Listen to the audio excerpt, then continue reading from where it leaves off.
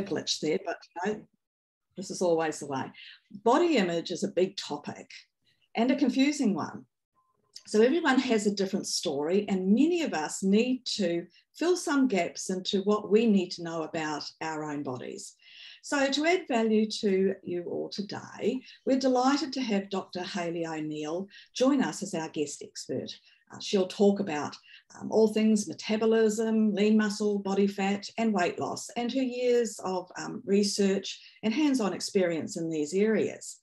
But more particularly, she's here uh, to answer any questions that you may have um, so that you can actually get the right answers and apply them immediately to your own uh, health and fitness plan. My name is Caroline Barton, and I'm one of the managing partners of Smart Coach 7, along with my business partner, Susan Sheehan, who will lead today's um, session.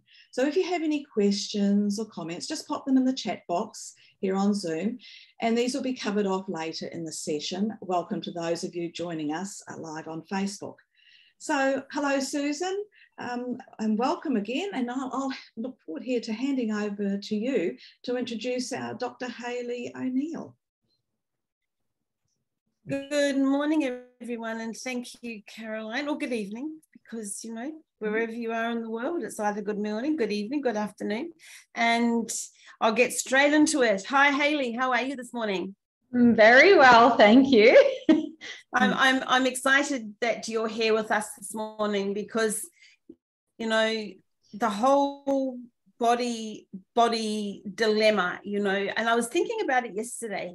You know how many times a day do people think about their body you know, when they're ordering lunch, having breakfast, out for dinner, can't do that, oh, shouldn't do that, oh my gosh, you know, and, and all of this stuff that goes on in their head.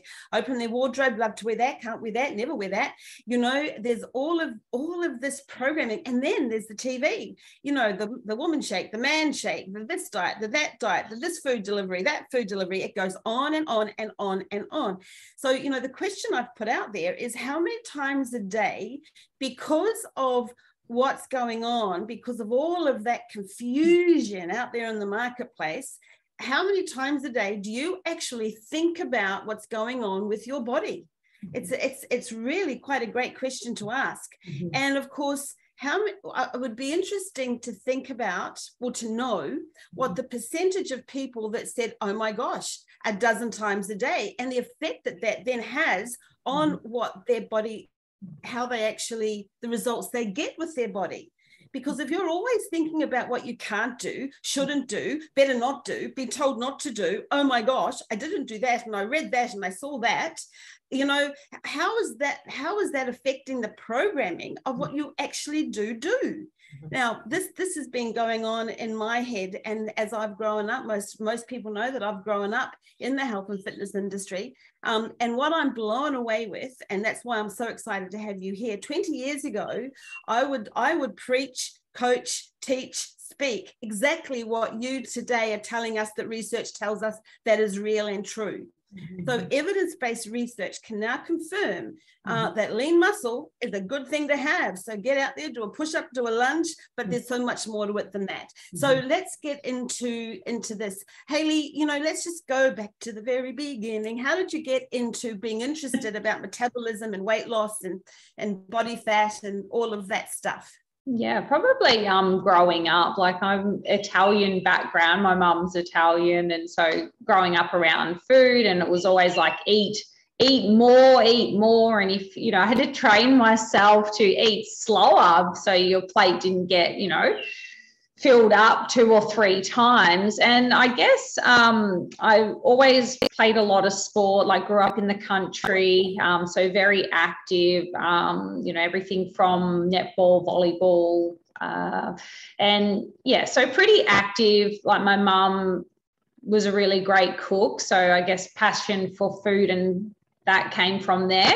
Um, and yeah, I, I just had an interest in combining the two because you you see these people working out a lot but then their diet's not so good and then they don't get any progress with their you know improving how they look and feel. So i think I, have probably had that probably come from my mum around food and eating and body image and it's a bit different to how like i don't use the word fat and stuff around my kids and that now and i really encourage eating and even the work that i'm doing with my clients and in clinical trials really changing perceptions about weight. So obviously that that led to doing I did a bachelor's in biomedical science but choosing a lot of subjects around nutrition dietetics majored in physiology and chemistry. And I was actually told to pick a pick a proper disease by a lot of my lecturers when I would choose obesity.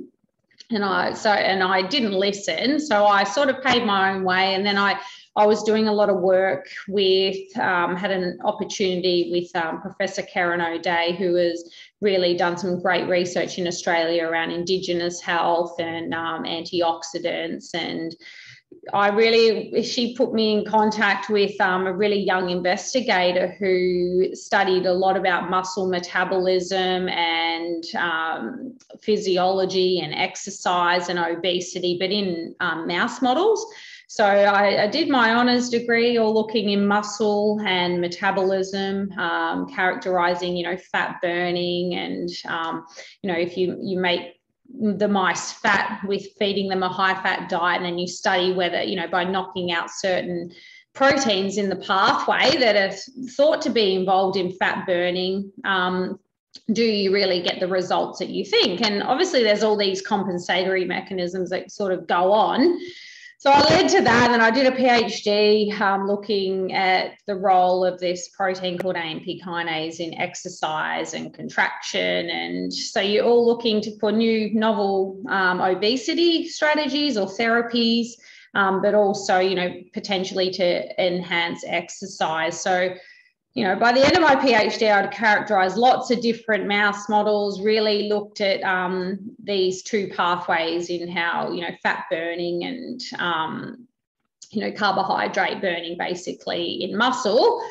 And then I went on to looking at in my first postdoc, I was fortunate enough to get an NHMRC fellowship and I was characterizing all these novel hormone receptors and fat cells. And because we know when we get fat or we get, you know, have obesity, carry excess weight, that our fat tissue is also an endocrine organ and it expands and it contracts and all that. So I, have done a lot of stuff around fat biology and then a cell biology and, you know, really in-depth mechanistic stuff. Um, spent three times in, uh, three years in Canada um, doing my PhD then come back to Australia. And then I moved. Um, I thought, you know, what does all this mean in humans? So, really closing that gap, I really wanted to bring more mechanism to really understand in depth understanding of what's going on, what's driving people's weight loss and their inability to lose weight. So, I was fortunate enough to um, be involved in some really big um, million dollar studies. Um,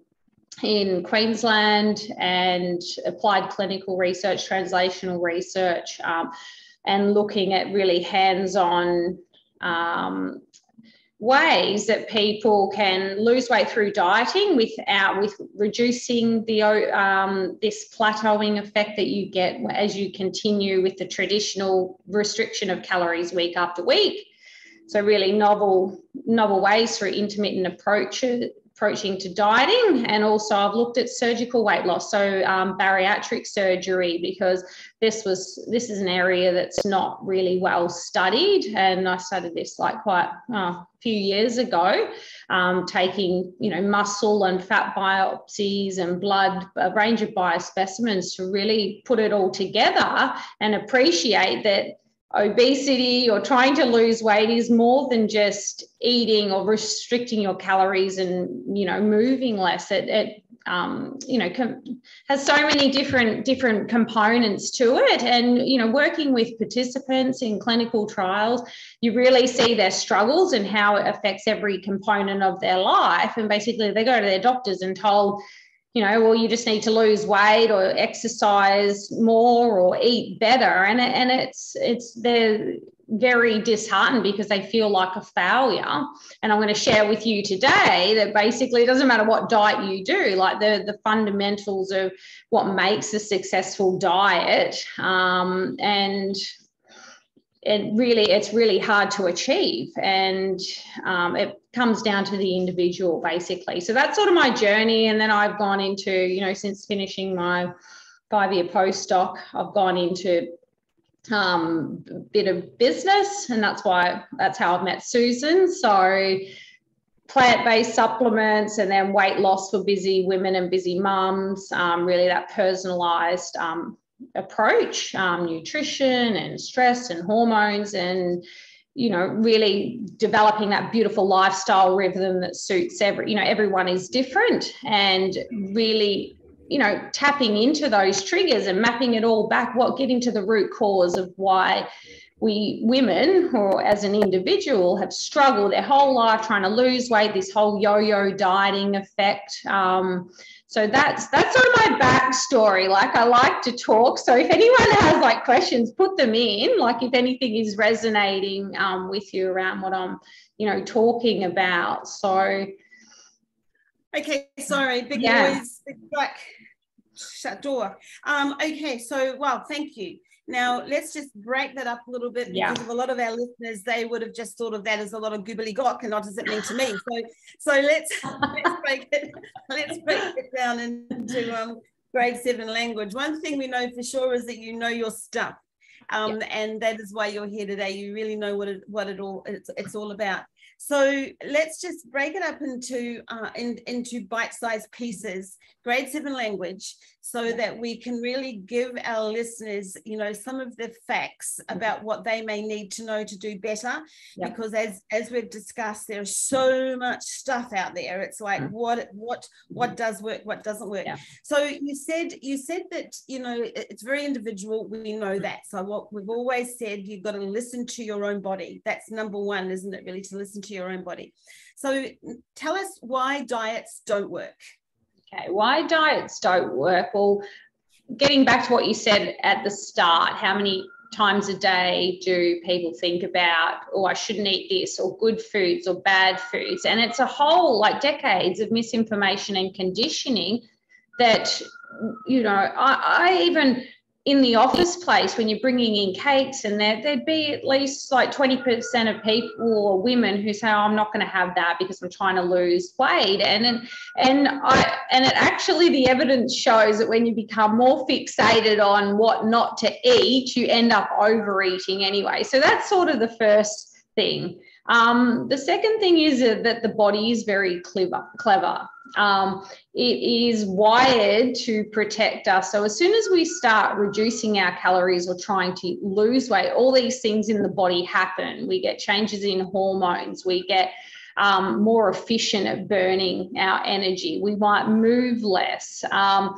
you know the changes in hormones drive us to want to eat more sweet fatty foods. Um, our metabolism slows so the, the amount of energy that we're burning when we're just not doing anything slows down. So what happens is our weight starts to go down and then we start to plateau which means our weight's not we don't lose weight anymore like the weight rate of weight loss slows down. And then we start to regain it. And then this classic um, you know, it's not that we're just failing. There's all these things going on in the body um, that drive us to want to eat more to sort of like prevent starvation, basically. So, um, I've got one about gut health. So this is this is another thing that I'm very interested in. So we've got you know, fixation on food. We've got eating behavior, individualized different eating behavior. We've got psych- psychology, you know, having excess weight and obesity is associated with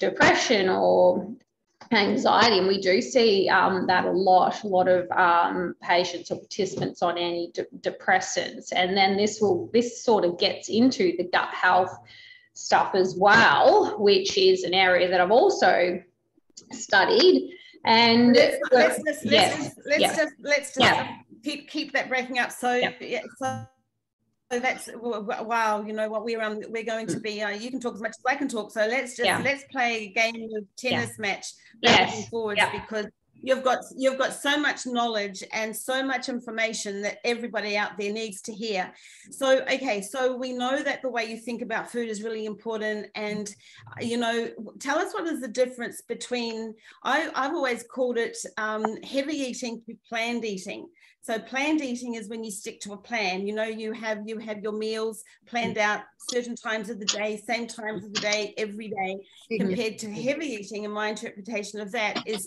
see food, eat food. Mm-hmm. Um, you know, you're, you're you're motivated to eat because you've seen an ad, because you like the food, because you're emotional eating, because of any other chemistry in your body that's mm-hmm. causing you to to to want to have those sugary fat foods. So, how important is it to be a planned eater compared to a heavy eater um, when it comes to managing your weight and what's going on, you know, um, underneath the surface? Yes, well, that's definitely a concept that a concept that I adopt. Um, with my clients, like meal planning and knowing, you know, what how much range they can have and really rewiring themselves in the way they eat.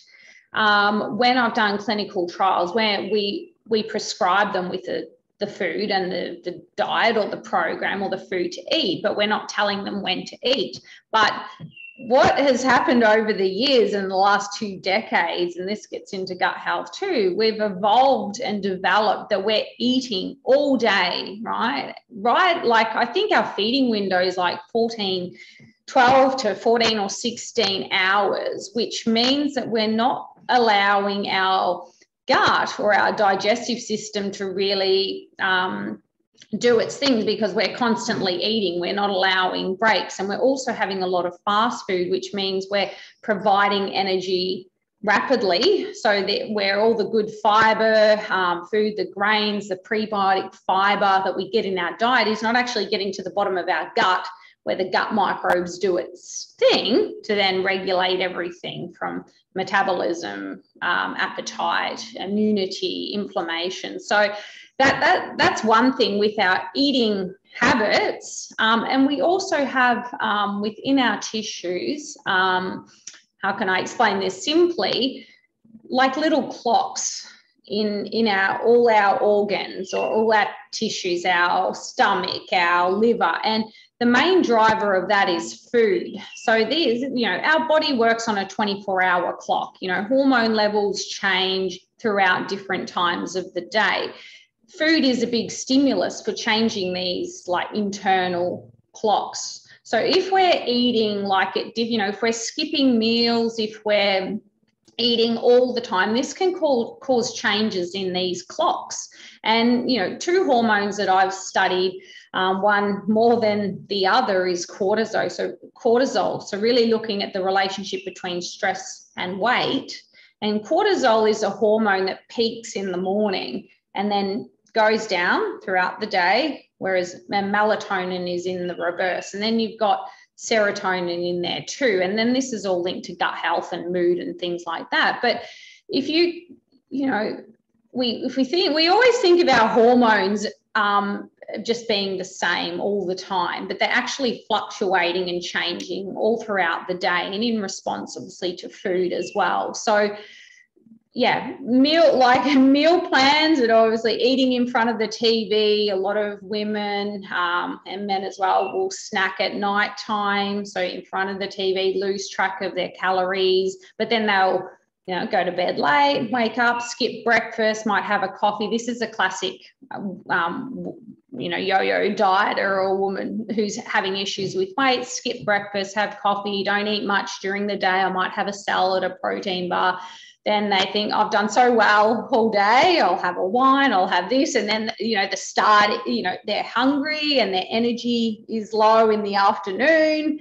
And then they just eat everything in sight. So, definitely having a plan um, to stick to is important, but knowing, you know, having enough flex in it that you're not becoming bored because this is a thing where women and men they fall down with dieting is they become bored it's the adherence and the compliance okay? Because it's too restrictive. Like it might work for a few weeks but then it falls down. So it's about rewiring and knowing your limits and looking at the long term goal and definitely having a plan does help with that. But I, I think, you know, to live your life always to a certain plan like you, social occasions or things like this you need to have flex. And this is what i do the work with my clients is knowing limits and not eliminating chocolates or wine or whatever cheese whatever they want to have. Um, you should still be able to have these foods um, in your everyday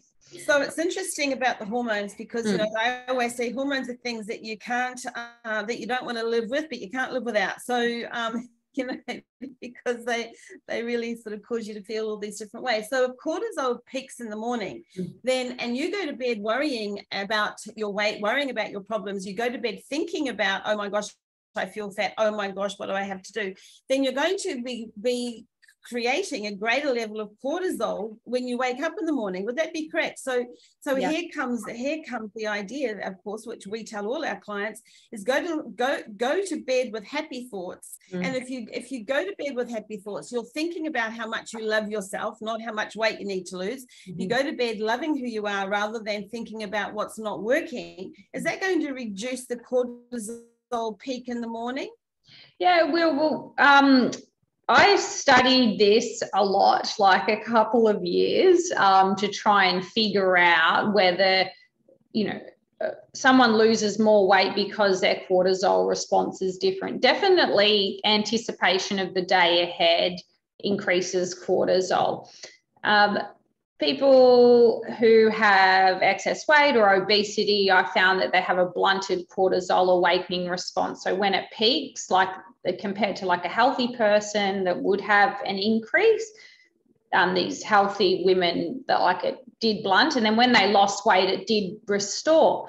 The problem is with cortisol, and I know women and people do get it measured, or the doctor says, "Oh, measure your cortisol." I found like about a forty percent variation in an individual, like with the measure alone from day to day. So it's a very noisy measure because it's going up and then coming down you need to measure it at multiple times of the day just coming into the lab or, or to get your bloods done actually increases your cortisol so I think that it's been hard to measure. There are studies that have shown, yes, relationship between obesity and differences in cortisol, but it is hard to measure. And I think it's more complex than that. Like there are studies that are ongoing around glucocorticoids or cortisol and weight, um, but but definitely I know there are people that when you're stressed, you eat more unhealthy foods or you'll lose that um, awareness of what you're putting in your mouth. Um, people might drink alcohol more, which is really high in calories. Um, so, yeah, eating behavior. Like, I think when you nut it down, though, it's like looking at the triggers. What are the things that are driving you to when you're having appetite, look at what else you're eating in your diet or cravings or things like that. Yeah. Oh, you're muted. That track came back um, because because we know that cortisol, too much cortisol is toxic waste. We know that you know it, it's looking at the body holistically, isn't it? Because if we're happier, then we're certainly going to be more focused on doing what we need to do and you haven't got that that emotional eating and that stress the stressors of eating so so really simply just what you're saying here is that planned eating um, is a healthier option as long as you have flexibility mm-hmm. and that there are times that you actually give your digestive system a break mm-hmm. so that the gut can heal a little bit and it, everything can renew mm-hmm. uh, so and as long as in that plan you're eating good clean healthy food um, then that is a really good place to start. Okay, now let's look at lean muscle and, and body fat. I know that using the word fat in context of, oh my gosh, don't do that because you're too fat. We know that that is just not something that you ever do, ever. Mm-hmm. Um, so be aware of language. We also know that the way you talk to yourself is so powerful. So even if you're feeling fat, guys, tell yourself you're, you're slim, trim, and terrific, or whatever that means to you. But let's look at lean muscle versus, uh, versus what body fat and the importance of developing lean muscle. Yeah. So, what happens um, when we gain weight? Predominantly, it's fat or fat tissue. And our fat tissue is made up of lots of little cells, and they're called fat cells. And they, they predominantly hold fat, but they also produce a number of hormones um, and things that are either good or bad, pro or anti inflammatory. They're called cytokines. Okay. So as we expand and we get fatter, our fat cells get larger and and it's quite um you know there's a lot of remodeling of this tissue and i've looked at um you know things that are really driving um, changes in fat but what happens you know so it can expand and contract as much as you know we put on weight and lose weight. Um, we get more fat cells in addition to them becoming larger. But then sometimes when the excess or the surplus is too much, um, we start, they, they, the fat cells become angry and fat can actually start spilling out over the fat cells and start accumulating in other tissues such as uh, liver and muscle. So I've done a lot of research on muscle because what actually happens when when the fat's spilling over into muscle, it can start producing these things called bioactive lipids or lipid species, and they can shut down um, different components of insulin signaling. And this is what um, our insulin signaling what happens is that's really important for clearing sugar or glucose from the blood. So that the, the muscle becomes insulin resistant because it doesn't respond to the same amounts of insulin anymore. So when when you're eating a meal for example you get a spike in blood sugar and then insulin's produced by the pancreas to clear that clear that sugar and then be taken up into muscle or other tissues um, to to um, you know be used as energy. So what happens when we start to um, lose so we're becoming you know fatter um, our body weight's increasing predominantly that's fat then we want to lose weight. So what what happens and we might be pre-diabetic or insulin resistance. So as soon as we start to restrict our calories as i said our metabolic rate drops we do the predominant amount of weight that we are losing is our fat mass or our fat tissue. We're losing fat but we can also lose some muscle and this is not good because um, in addition to our muscle being the main driver that's regulating those blood sugar levels or insulin sensitivity it's also um, plays an important component in our energy metabolism or energy expenditure, like our metabolic rate. Okay, so the more muscle we have, um, the higher our metabolic rate will be. So we start restricting our calories, we get a drop in metabolic rate. Predominantly, that's driven by the loss in muscle. Um, so if we're not um, one of the things we've shown as well that if you're not getting enough protein in your diet to support that, that muscle, so we know protein is important for muscle mass, um, you can actually lose greater amounts of muscle. So does that make sense? So that's, yeah. No, muted again. Sorry. Yeah. Oops. Um, what the, that big truck would have to come today, this morning, right now. Anyway, um, so we over we overeat, we move less, Yes. Um, the aging process sets in and body fat, the weight goes up, but the body fat, the fat cells not only duplicate, but they also get fatter. Yeah. yeah. Okay. Yeah. Which of course creates this imbalance. And the more that you actually sit mm-hmm. and, and eat the wrong foods, and the more that this behavior mm-hmm. continues, mm-hmm. these fat cells then also spill out and start to affect the other parts of the body, i.e., lean muscle. Um, and I guess that's why so many diets out there, uh, somebody may lose body fat, but their muscle looks like, oh my gosh, you know, they could do with eating a eating a hunk of steak or something because you can see that they need to increase their lean muscle. Um, it's an interesting, it's it's an interesting thing to watch. So if the if the fat cells not only duplicate but get fatter.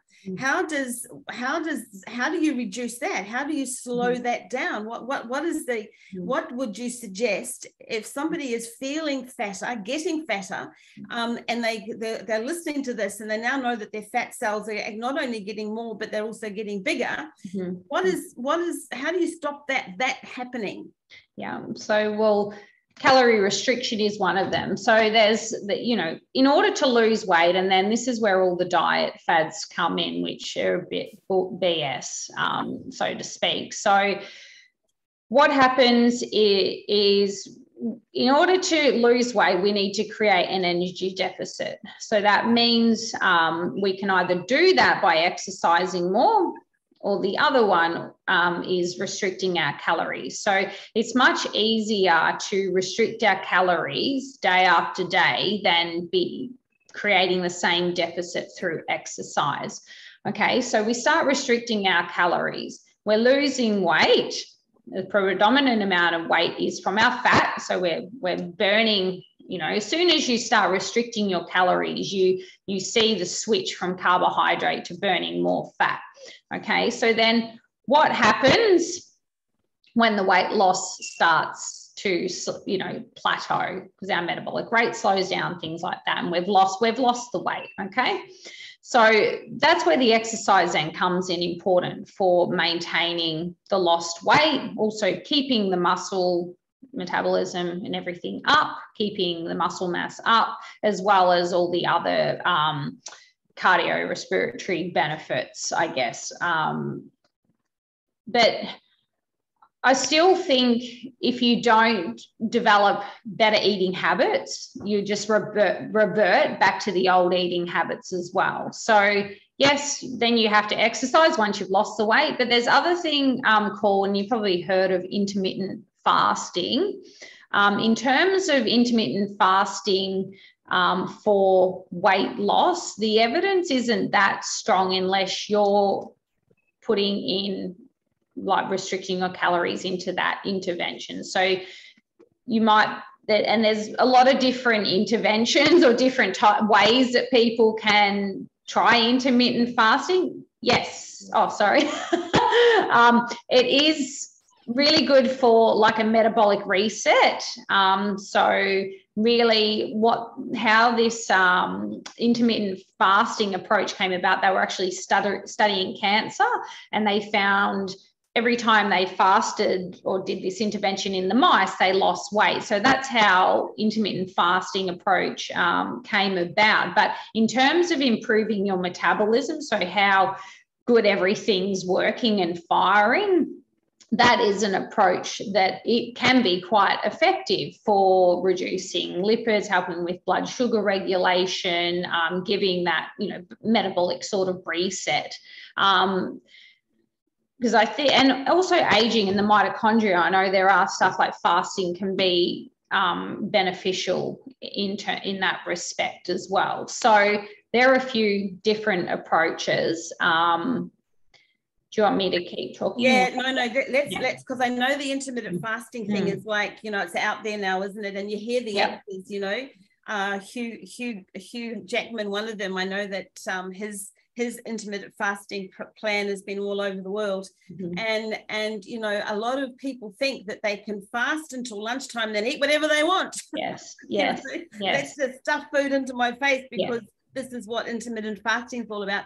So what you're saying is, is that doing, putting in place that intermittent fasting occasionally is a healthy thing, as long as you're still working on healthy eating and caloric restrictions. Mm-hmm, so mm-hmm. it's all about just, just really giving that body a break sometimes so that your that gut and your whole system can sort of start to renew and recover. It isn't an opportunity to not eat and then eat everything that you can. No, and that's what the evidence has shown. I know there are people that have done quite people like the intermittent fasting approach because you have basically a feeding window and whether that be six or eight hours or you know 10 hours and depending on whether you uh, skip breakfast or don't skip breakfast. But because they're not restricted you don't you're not having to count or you, you just eat whatever. But they've shown that it, the weight loss can be slow with this intervention um, if any um, and it comes down to comparing it against every other diet that the long term evidence on weight, you know, when you're looking at weight loss, is it's not there or it's not strong. Okay. Most, you know, 12 to or 8 to 16 weeks is the classic time period um, in clinical research for weight loss interventions. There are ones, you know, but the, the, the longer time points is what you're interested in, to, in because most people who la- lose as little as 8% body weight regain that within two years. Um, and then this is this is a problem and a lot of that's to do with compliance lack of support you know adherence to the plan or the diet or they just don't think of the different stages of weight loss like i always call it like the, the diet after the diet. So what what's your strategy you know? Um, so there's lots yeah lots to take into consideration. And this is why you know, we go restriction or we become, you know, juice cleanses or shake diets or the, you know, these try all these different things. We have success and then we, you know, our habits develop or, and we've got even some of the hormone changes can persist up to six to 12 months um, after dieting or calorie restriction. So being aware of these things that when you start to gain weight, that you will always regain some weight. We even see that in patients who have undergone bariatric surgery. This is just what the body does, right? So thinking uh, not just about weight, but it's like transforming your health, transforming your lifestyle. My program is all about like total body love lifestyle transformation. So you're looking at every component that then yes you can lose the weight but then it's about you know the, the confidence to step into your dream job to set boundaries like all these other things like what's coming up from my childhood? Why am i getting these cravings? Why am i using food to soothe? Why you know, and it's really good when these things come up within my clients because it's like great, and they're thinking they're failing. Oh no, I overate, or I just couldn't help myself. But it's like, okay, well, what's happened in your day or your week that's led you to do that? Let's work on minimizing this. And I guess, putting, yeah, I guess, I guess that's where that's where the coaching comes in, isn't yeah. it? But mm-hmm. it's also, it's also, isn't it, about people? What you just said here about it's not about I remember when I was studying, I had I had a lecturer say to me, "Study for knowledge, not for an exam." Mm-hmm. And I think we can use that. We could use that as an analogy here.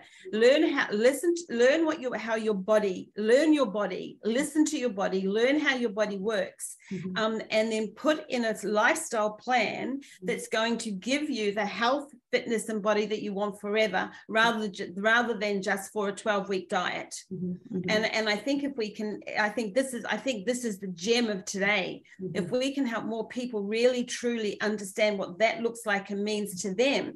And again, doesn't it come down to, you know, as you said, you know, what is your dream job? But mm-hmm. what, what is it that you want to achieve in life and who do you need to be to have that? Let's look at what that means. Mm-hmm. So, lean muscle, important, mm-hmm. uh, you know, so again, it's back to that exercise. You mm-hmm. know, what would you recommend as far as lean muscle versus cardiovascular exercise for weight loss and and getting this you know the biochemistry of the body doing what it's meant to do yes yeah, so I've really changed since like I have a four and five year old now. So that's really changed like since only a year apart. So since going from, yeah, career woman to then this and just, you know, I don't have time to exercise all the more, uh, all the time. And I think the recommendations are, it's like at least around like 200 minutes um, a week like I don't do that all the time all the time. And I, I, just think any exercise program, like the best exercise program is one that gets done. So,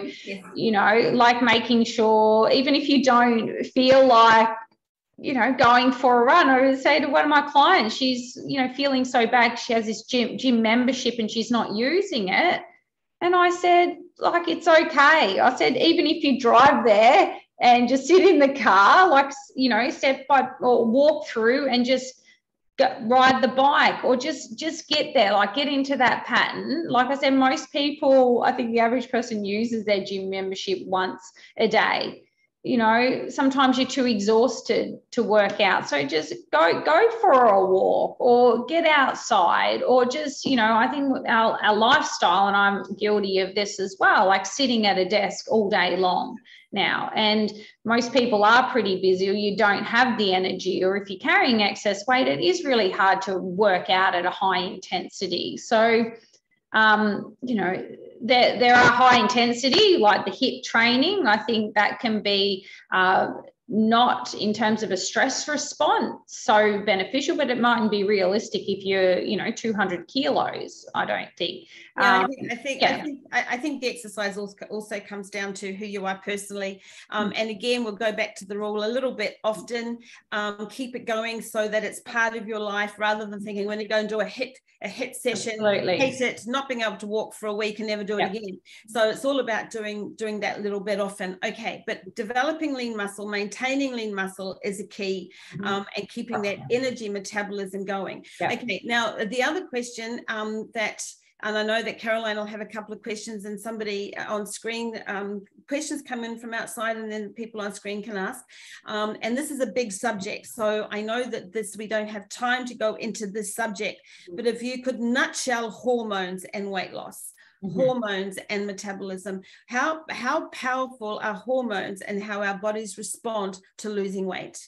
Yeah, I think they're obviously very important. We have lots of hormones in our body, some drive appetite, some regulate you know, uh, fat burning or controlling our blood sugar levels, especially um, for women. And I will just touch on um, the intermittent dieting approach because I do talk about this with uh, my clients um, with the skipping the breakfast in the morning and women are on obviously we 28 day cycle. Our hormones are fluctuating all the time. Our energy requirements are different depending on what phase of our cycle. So this is a bit of a tip. Like you when you're already under a bit of like metabolic stress or you know coming into your period for example um, you don't want to be restricting your calories okay? So that's just and and by just, there is some evidence that when you are skipping breakfast in the morning as a woman it can lead to reproductive like sort of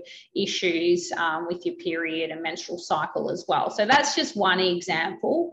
Um, and yeah, I think when we're, when we're starving ourselves, this is a classic thing that often people are not eating enough calories. Okay, so we're in at this constant state of restriction, and when you you put people on a even like a weight maintenance um, diet, so to speak, or intervention, they're, they're so surprised how much food they can actually eat yeah. Okay. So, so, and when we're getting like to gut health, um, you know, we're thinking fiber and then protein, like with our muscle metabolism. I just wanted to mention as well, like that protein intake. Like most of us from our normal diet will be getting enough protein um, just by our normal eating. Um, it's not essential that you have these super processed um, protein supplements, and there's a lot in this as well because that's the first thing that we go and do is we buy this expensive protein supplement which is filled with thickeners and um, additives and preservatives which can cause a lot of um, gastrointestinal upset, um, inflammation, gas, bloating, all this sort of stuff as well. And we're actually sometimes like some I've heard of some people get on like 200 grams of like protein a day from their gym instructor, and then the classic chicken and broccoli and and things like that. So um, you know that we know our gut like protein yes is digested in the gut but um, having too much can lead to like inflammation and things like that so this is all you know everything's linked if you think about the body where things are digested you know you've got stuff happening in your gut but then it's going around um, to other parts like in the brain. Um, we've got our gut brain axis, um, we've got inflammation in the gut, we've got metabolism, appetite, things like that. So, yes, hormones very important, um, especially for women as our hormones changes. Like most women are not having enough fiber in their diet. Actually, 80%, over 80% of um, people don't get enough fiber in their diet. We need that for our energy. We need that for regulating our um, bloods, like our cholesterol levels and stuff in our blood, as well as for women, pulling out extra excess um, estrogen. Okay, so when you're getting a buildup of estrogen, you can be more irritable, um, angry sort of mood, um, constipated, bloating, because you're not going to the toilet enough. So this is all linked in as well to yeah fiber intake and hormones. So so, yeah. so it's interesting it's interesting how how what you're saying here about hormones for women is that have periods. So just just a quick um, I guess, summary of that is mm-hmm. that it really is important to, again, we go back to listening to what your body can do and can't do. You've got to listen to what your body can do, whether you're male or female. You know, you've got to listen to what your body, how your body uses energy, what foods, what what exercise, what hours, what what your time clock is doing, so that you can work with your body. I think that that's number one. What you're what I'm hearing here, um, and of course, hormones for women mm-hmm. um, mm-hmm. are already regulated because of that because of that cycle. So when then women go into menopause and post-menopause, um, where where 100%, I've done a lot of research on this, where 100% of women over 40 at some stage, whether they're this big or this big, mm. will all have an increase in body fat. Yeah. Um, and there's a lot of reasons for this, isn't it? One of them is because I think they lose a pound of lean muscle a year if they don't do anything to increase that lean muscle.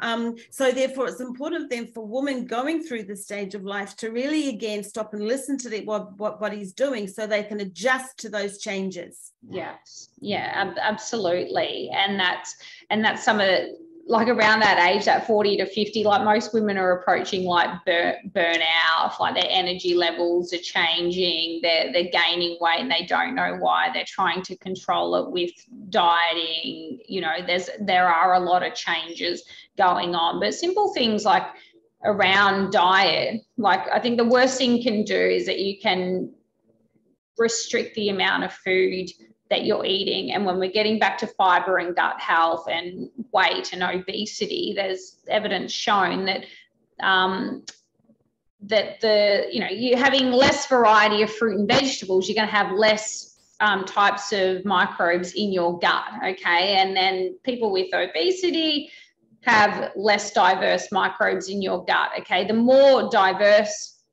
gut microbes you have, like that's been linked to be more protective against disease. Um, so that that yeah. simply means eat a rainbow. Yes. Yeah, yeah variety, and especially your green, your leafy greens. Um, Flax is really good for hormone balancing in women, like flax seeds um, you know, less processed foods, less inflammation. Yes, I think I think we could do a whole session on hormones. I know, and a lot of people have heard me say this. In fact, most people that have heard me speak heard me say this. That you know, I I used to be able to run without a bra on, turn fifty, grew boobs. So you know, there's a there's it's, it's an interesting it's an interesting subject matter. Okay, hands up, anybody who has a question for Hayley. Caroline, what's coming from outside? Well, I think we've had most of them covered, but um, one here was I think you've it was uh, how can you explain the process of fat loss mm-hmm. um, and how does the body work when losing weight? But more particularly, the, the question is around where does it go? Where does it go? Well, it's burnt as energy. So every yeah yeah so so we we can burn um, fat we can burn muscle into like protein um, we all we have um, carbohydrates storage form of glycogen that like everything gets burnt in the mitochondria. That's like the powerhouse of the cell and i did a lot of like work in my phd on this. So our fat goes into the circulation like as fatty free fatty acids taken up into muscle enters the mitochondria. Like broken down can enter the mitochondria and produce energy so we can live carry out normal body bodily functions. Yeah. And i guess i guess for those who train and really do listen to their body this uh, you you would really relate to the mitochondria as far as lactic acid because lactic acid is a byproduct of of that mitochondria burning that energy um because a buildup of lactic acid can cause tightness in the muscles et cetera et cetera. So Mm-hmm. Um, yeah, the mitochondria is an is an interesting, interesting, interesting mm-hmm. subject matter. Um, that's a really interesting question, Caroline. Where does yeah. it go? I've never heard that question mm-hmm. before. I love it. Yeah, yeah. well, so we know, I suppose, the problem. If muscle, yeah. well, if you're eating, weight, they lose a lot of weight and they've got a lot of skin folds and everything like that. But yes. Yeah, well, it's because you've you you've had a significant restriction in your calories, and this is a problem. If you're eating you know, we can accurately measure how the energy requirements of a person um, through various ways. But if you're eating what you know, to maintain your body weight, that's why you don't lose weight because you're eating. And I think, you know, there is a threshold plus or minus that you can have each day and then not gain or lose weight. And that's where some people go, Oh, I'm just doing everything I should be doing. And I'm only eating 1200 calories, but then I'm still gaining weight. But they might have had like a chocolate biscuit or something else that they don't think is significant. But when you look at it over the course of the week, it, it is significant. Um, yeah. Yeah, you know what? I used to have um, cappuccino with triple chocolate um, until I until I did a study on sugar, and I used to think a little bit is not going to hurt, a little bit's not going to hurt. And then when I did the study on sugar, and it's like triple chocolate, and you know at least one cappuccino a day. If I was seeing clients, it could be more. And I'm thinking, oh my gosh, that's a heck of a lot of sugar. That's just a little bit often. So we have we have to be aware of that. Again, it's going back to how we how we talk to ourselves. Um, guys on screen, does, do any of you have a question for for Hayley. Tom. Uh, uh. And we've got a couple in the um, in the chat box there, Sue too. If you can read those out, Caroline, that would be great. I'll get, or Gail, did you want to talk about yours? Or so Gail's come and she's on, on screen here. What can you tell us about gut um, dysbiosis, uh, its effect on the body's ability to process nutrients and help the body to achieve balance and ultimately health? Mm -hmm. Do you think that a good place to begin when trying to lose weight we look at that that we look at that if yes. we're trying to lose weight. Yes, ab- absolutely. And I do that with my clients. Um, and this is getting into the different stages of when we die. And I call it the priming for weight loss. And if we're already in a state of stress, um, if we've already got gut issues going on, and then we're going to put another stress on our body by restricting our calories, like to me it just doesn't make sense to do that. So if you do have sort of gut issues like the first thing i um, recommend is giving your gut a bit of a rest like broths or you know bone broth is very good for this because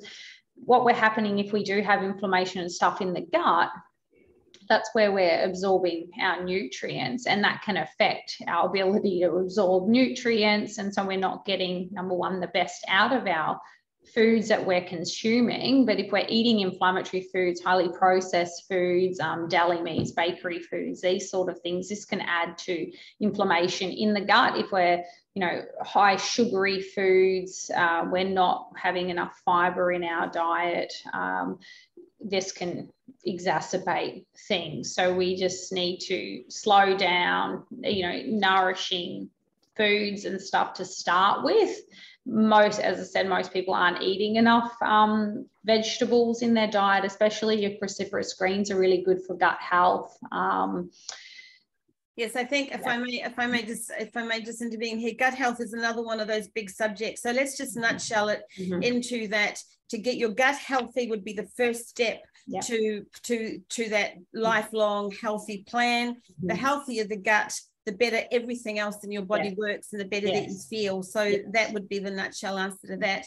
Um, another question, Caroline, that come through? Yes, from Ali, um, he's on screen as well. Why does the body composition, fat mass, muscle mass, change when you measure it you, at um, using different age, PA levels or HT for the same person? Which was I think that's a bit of a I think it's yeah, just it's just in the yeah. chat box there. Our physical activity levels, age, yeah. So obviously, as we age, um, we you're losing.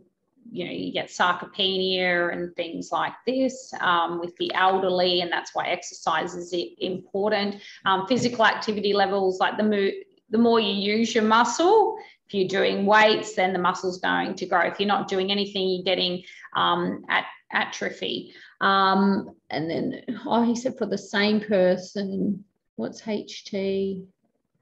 Um. Hi, uh, Ali, how are you? um, yeah, so height. So I meant to say height. Um, oh, height, height. yes. Uh, yeah. Um, yeah, so just if it's measured on the same person, but you change the height or the physical activity levels or um, um, yeah, or the age, it seems like the body composition changes um, oh. even person. Yeah, so well, in terms of um, energy requirements, because a, lot of this is on uh, probably prediction equations and and things like like that. Like the bigger the person you you have, like and and different body types as well. Um, I know that when when we measure them in clinical trials, we use different um, different methods to measure body composition. We're using like the DEXA machine, we're using another fancy like bod pod, and we're putting them all um, all together. Um, and in terms of height, height for the same person. I can talk to you about this one um, as well. Fat mass and muscle change when you measure it using different age, physical. And in terms of energy requirements, so if you're wanting to look how much calories you should be eating that is based on physical activity levels. Like someone who's sedentary it's 1.5 someone who's very active it might be 1.8 and you're basically multiplying the physical activity level and that that metabolic rate to get together. So that's how you get differences in calorie amounts. Um, does that sort of answer your question or not really? It's mostly because um so i use like um bia also the um um,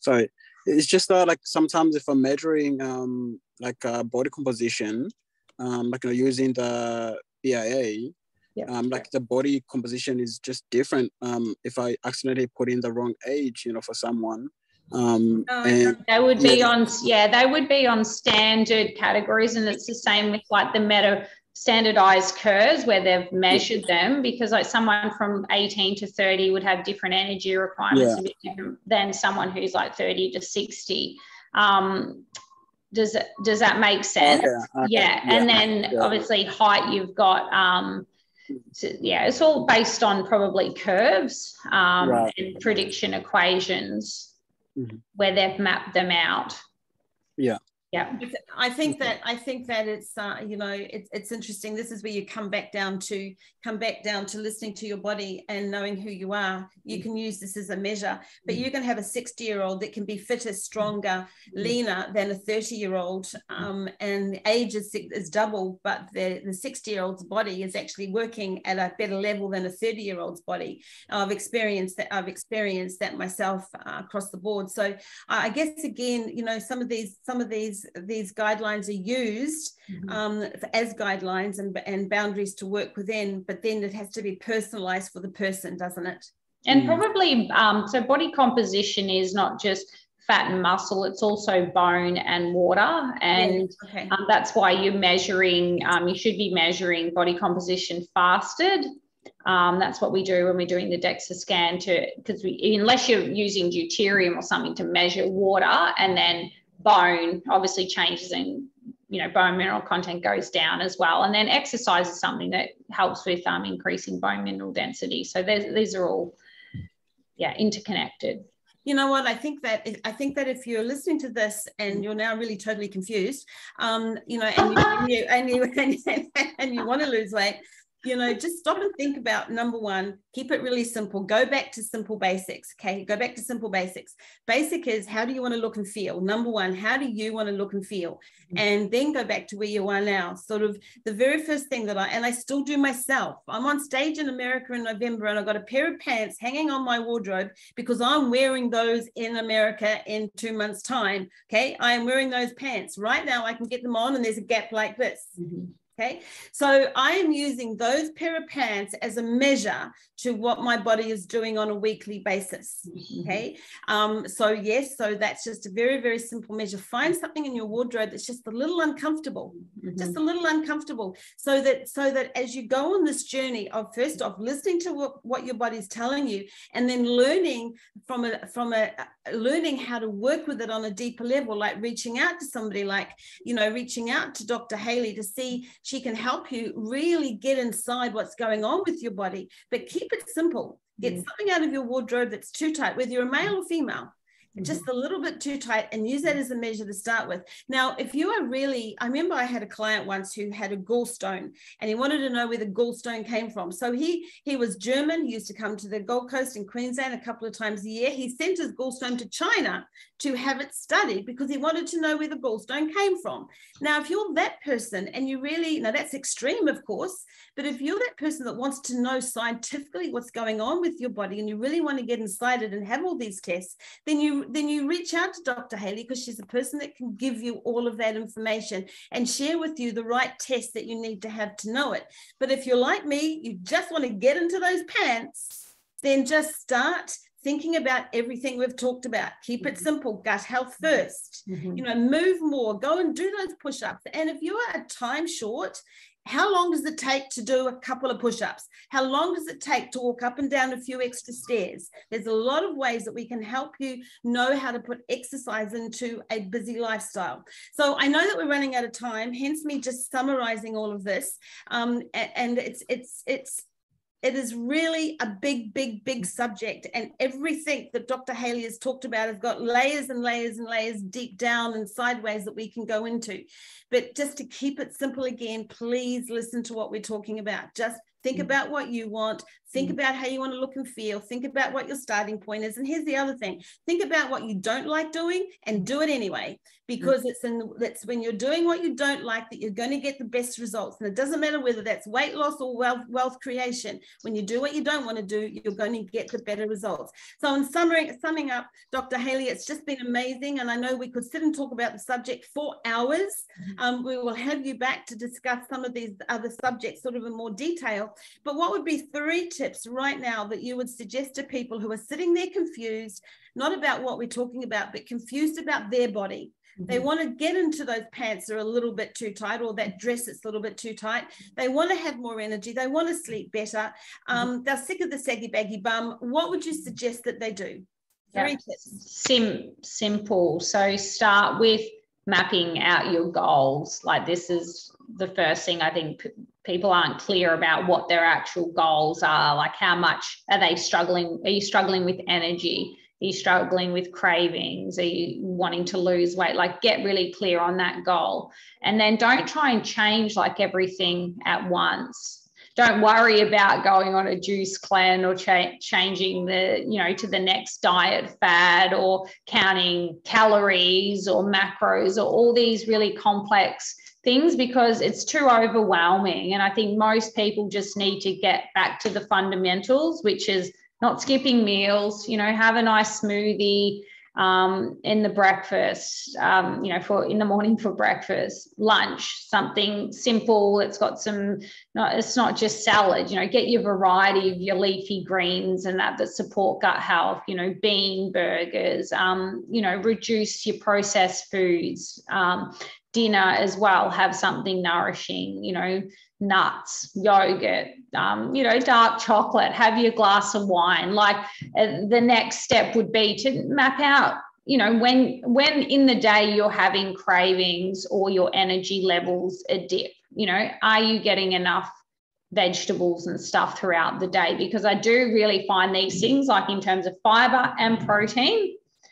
Um, for women, it's 25 grams a day for um, your protein 0.75 grams per kilogram of body weight. So i think anything like 45 to 70 grams which i'm seeing with the work i'm doing with women is really a good starting point. You're not having to don't be having your protein supplements three times a day. You can eat really simply and clean, clean. I don't even know if that's like a word, but just um, and tasty. Like really use like your your herbs and um, you know if don't restrict yourself into good and bad foods. So and the third thing, I, I really like the 80 20 or 80 90 percent 20 rule. So um, if you're doing it 80% of the time, good or relatively good, then you've got a bit of flex the other 20%. So start changing into getting changing your mindset, losing the restriction, the fixation on food, you know, really working on getting just these simple things that support your gut health and energy levels, like good, clean food.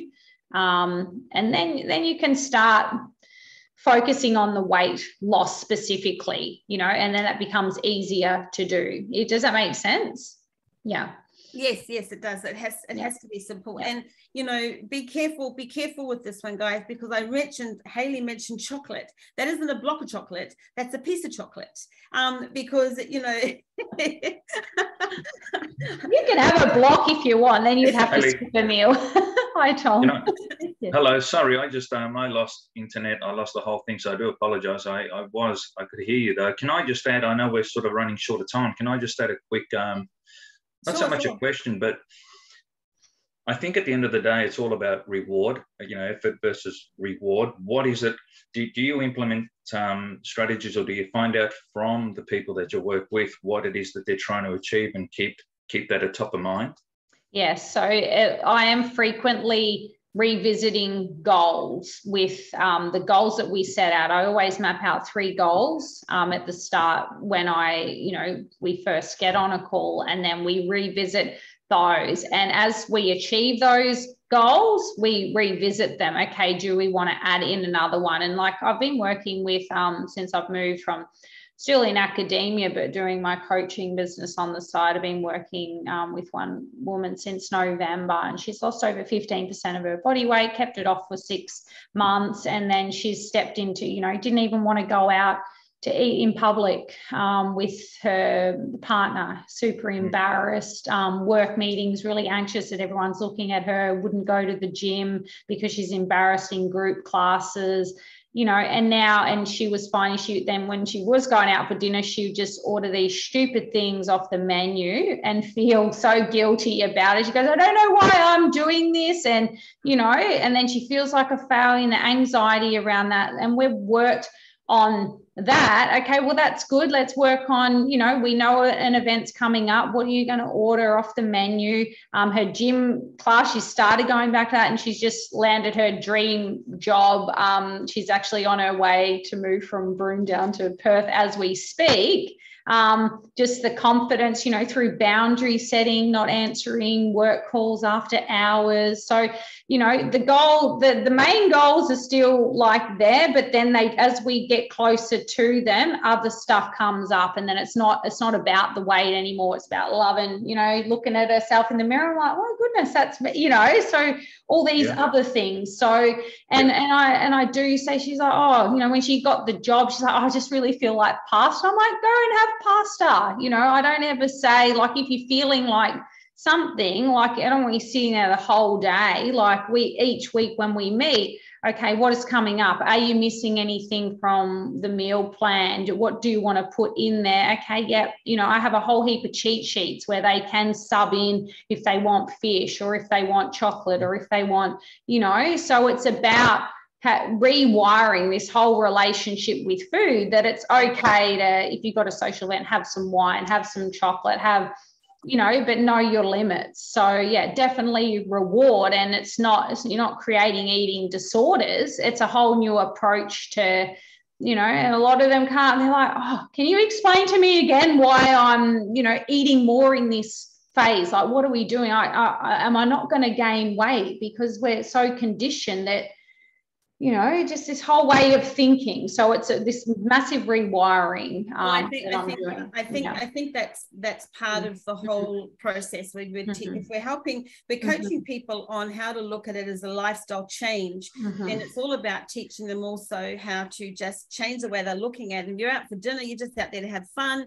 yeah. and and how to order simply and yes. clean. I think you know you we use the word clean. I think it's a powerful word because clean is very simple to see I think the more the simpler we can make it so people can see it, clean just means there's no crap on it. Mm-hmm. Um, and I've always had another rule of thumb is that if you don't know what's in it, you don't eat it. It's yeah. that simple. If you don't know what's in it, don't eat it. Mm-hmm. Um, and of course, that's that's another um, healthy healthy gut strategy. Mm-hmm. Okay, that is absolutely wonderful. You are amazing. As I said, we could sit and talk for hours and hours and hours. I think we need to have a we need to have a session on men and their bellies. I think that's a great session to have men and their bellies. um, because you know that's the whole market in itself, isn't it? The man in the belly thing. Mm-hmm. Um, so thank you so much, Dr. Hayley. You have been amazing, guys. If you want help, reach out to us. Let us connect you with Dr. Hayley. Learn more about how you can listen to your body, listen to what it's telling you listen to what you want and mm. only listen to people who know how to help you. Get rid of the opinions and the diets and the social media. Switch off from all of it. Mm-hmm. you've got to start to re- to rewire. You need to start thinking about what you think about who you're putting yourself in front of. Mm-hmm. just focus on what you where you are now what you want and what are those gaps? How can we help you fill those gaps? Mm-hmm. so thank you so much caroline. Thank you everybody on screen. Thank you everybody out there watching us. Have a really super wonderful day. We'll be back we'll be back next week. Dr hayley thank you. You are amazing. Let's do this again and pick a subject that we can really get into. Um, and have a be safe. You're doing some amazing work and congratulations on your business. It's all very exciting. We know that you're going to be making a difference to so many more people's lives. To get rid of the confusion, let's get some clarity on how you can live in the body that you love. Have a wonderful day, guys. See you next Monday. Thank you. Yeah.